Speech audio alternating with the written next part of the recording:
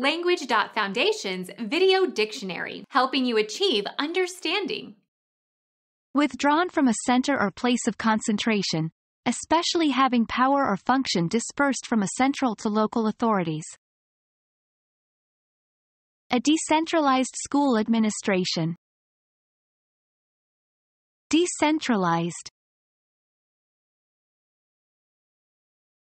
Become our student and get access to effective and free educational materials. Subscribe to our channel to become a part of our growing community and to learn English effectively.